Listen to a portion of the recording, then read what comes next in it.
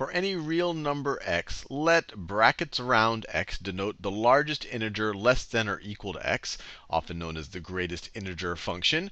Let f be a real valued function defined on the interval negative 10 to 10, including the boundaries by. f of x is equal to x minus the greatest integer of x if the greatest integer of x is odd, and 1 plus the greatest integer of x minus x if the greatest integer of x is even.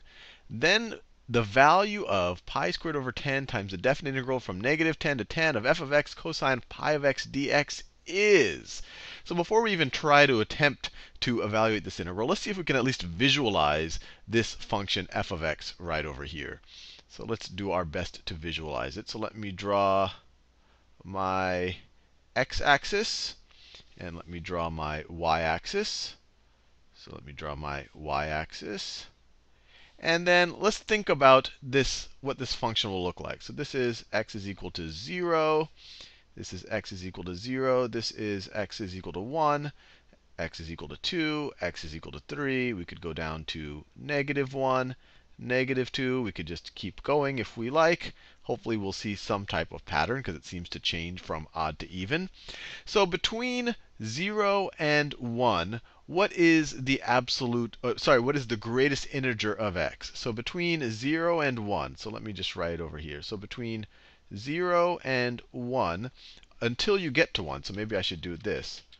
From including 0 until 1, the greatest integer of x, the greatest integer of x is equal to 0. If I'm at 0.5, the greatest integer below 0.5 is 0. As I go from 1 to 2, as I go from 1 to 2, the greatest, eh, this brackets around x is equal to 1. It's the greatest integer. If I'm at 1.5, the greatest integer is 1. If I'm at 1.9, the greatest integer is 1. And then if I go to above from between 2 and 3, so if I go between 2 and 3, then the greatest integer is going to be 2. If I'm at 2.5, greatest integer is going to be 2. So with that, let's try to at least draw this function uh, over these intervals. So between 0 and 1, the greatest integer is 0. 0 we can consider to be even. 0 is even, especially for alternating. 1 is odd, 2 is even, 3 is odd. So 0 is even. So we would look at this circumstance right over here, if x is even. And then over this time frame, or over this part of the x-axis, the greatest integer of x is just 0. So the equation in, or the line or the function is just going to be 1 minus x over this interval, because the greatest integer is 0. So 1 minus x will look like this. If this is 1, 1 minus x just goes down like that. That's what it looks like from 0 to 1. Now let's think about what happens as we go from 1 to 2. As we go from 1 to 2, or uh, not including 2, but including 1 all the way up to 2, not including it, the greatest integer is 1, or the greatest integer, the greatest integer is odd. So we use this case. And over here, we're going to have x minus the greatest integer of x. Over this interval, the greatest integer of x is 1. So it's going to be the graph of x minus 1. So x minus 1 at 1 is going to be 0, and at 2 it's going to be 1 again. So it's going to be this. It's going to look just like that. So this right here is x minus 1. And then this over here essentially was 1 minus x. And we could keep doing it. As we go from 2 to 3, the greatest integer of x is 2. We would look at this case. So we're going to have 1 plus 2. So we're going to have 3. We're going to have 3 here minus x. So when we start over here, when x is 2, or a little bit above that, we're going to have 3 minus 2. We're going to go to 1. It's going to be right at 1. And then as x is equal to 3, 3 minus 3 is 0. It's going to oscillate back down like this. So I think we have an appreciation for what this graph is going to look like. It's, keep, it's going to keep going up and down like this with the slope of negative 1, then positive 1, then negative 1, then positive 1. It's just going to keep doing that over and over again. You could keep trying it out with other intervals, but it's pretty clear that this is the pattern. Now, what is what we want to do is evaluate the integral from 10 to negative 10 of this function times cosine of pi of x. So let's think about cosine of pi of x and think, and think about whether that also is periodic. And of course it is. And then if we can simplify this integral so we don't have to evaluate it over over this entire period over here. Maybe we can simplify it into a simpler integral. So cosine of pi x, cosine of 0 is 0. Cosine, sorry, cosine of 0 is 1. Don't want to get that wrong. Cos, that's just cosine pi 0 is cosine of 0, so that's 1. Cosine of pi is negative 1. So when x is equal to 1, this becomes cosine of pi. So then the value of the function is negative 1. It'll be over here. And then cosine of 2 pi, 2 times pi, is then 1 again. So it will look like this. Let me, this of course will be, this is at 1 half. When you put it over here, it'll become pi over 2. Cosine of pi over 2 is 0, 0. So it'll look like this. It will look, let me draw it as neatly as possible. So it will look like this. Cosine, and then it'll keep doing that. And then it'll go like this. So it is also periodic. So if we wanted to figure out, if we wanted to figure out the the integral of the product of these two periodic functions from all the way from negative 10 to 10, can we simplify that? And it looks like it would just be, because we have this interval, let's look at this interval over here. Let's look, let's look at just from 0 to 1. So just from 0 to 1, we're going to take this function and take the product of this cosine times essentially 1 minus x, and then find the area under that curve, whatever it might be.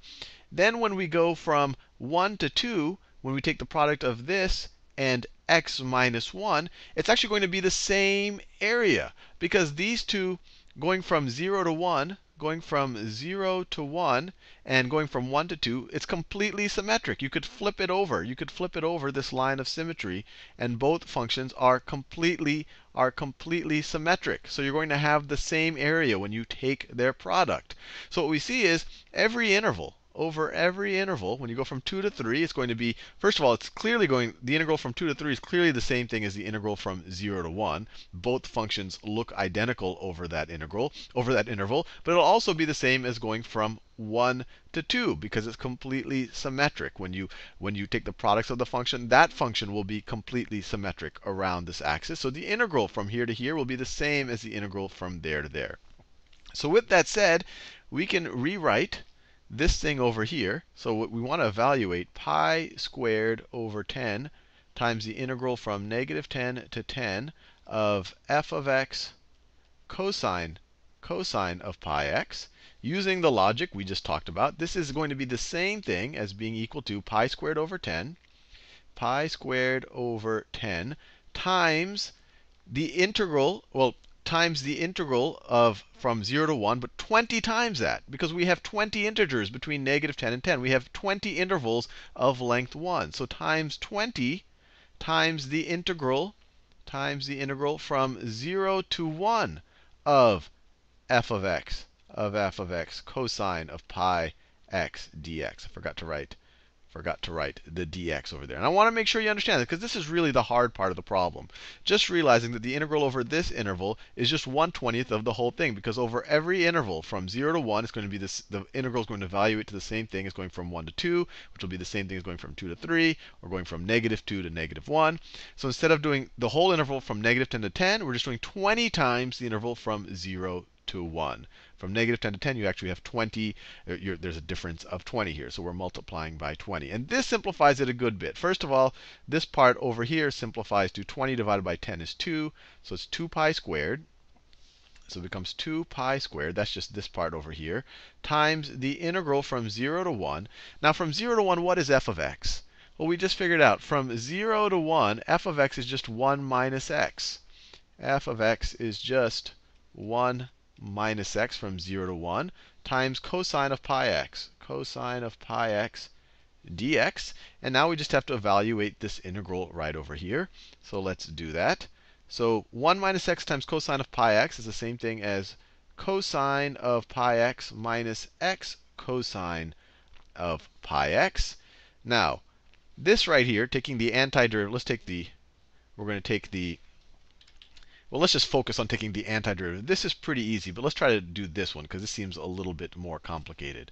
So let's take the antiderivative of x cosine of pi x dx.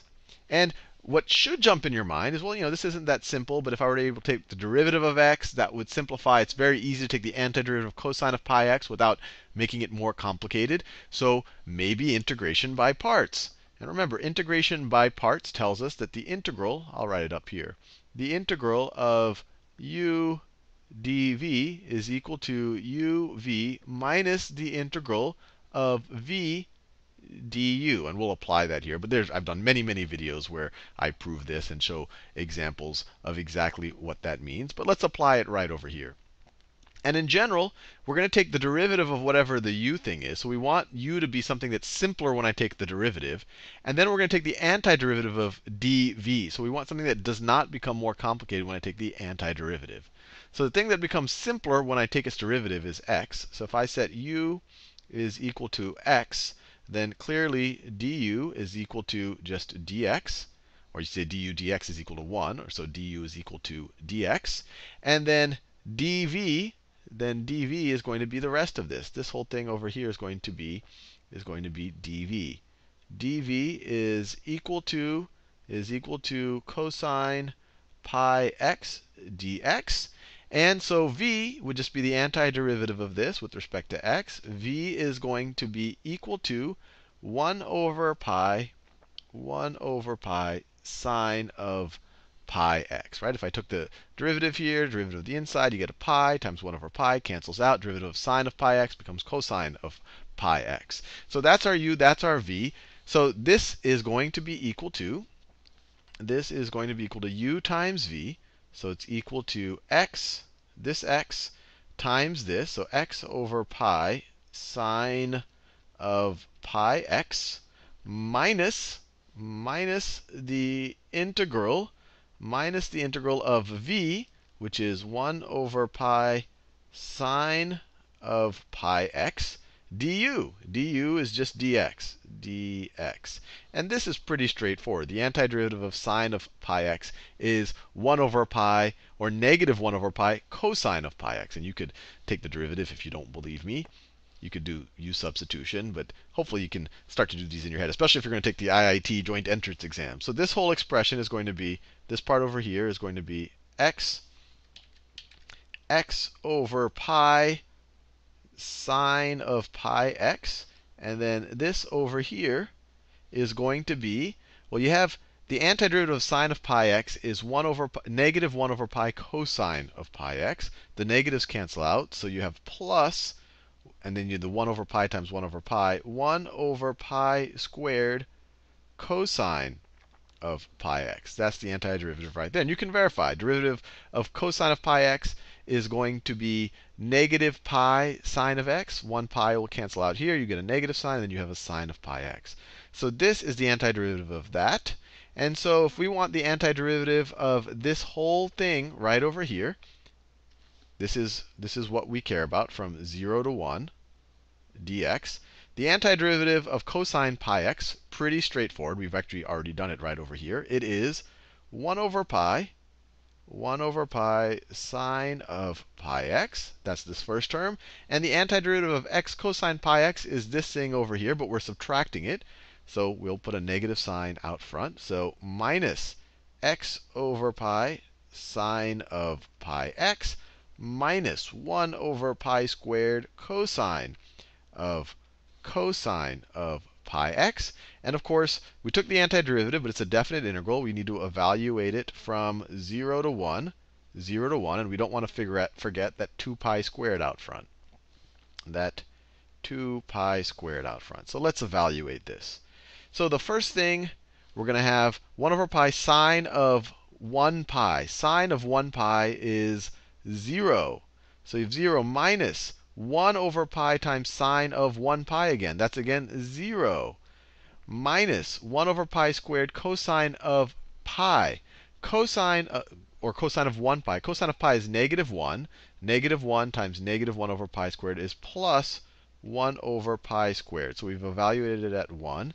And from that, we want to subtract it evaluated at 0.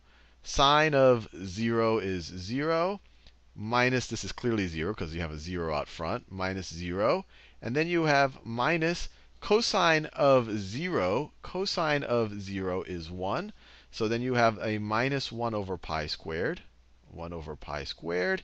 And so this term, we could just say this is a negative. These don't matter, negative, positive, positive. And we're just left with a 1 over pi squared plus 1 over pi squared, which is equal to, which is equal to 2 over pi squared.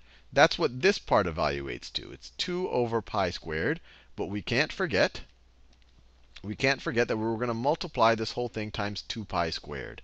So we're going to multiply the whole thing times 2 pi squared. That's this thing out front here. And so the pi squared cancels out the pi squared. We're left with 2 times 2, which is equal to 4. And we're done. This thing that looked pretty complicated just evaluates out to 4.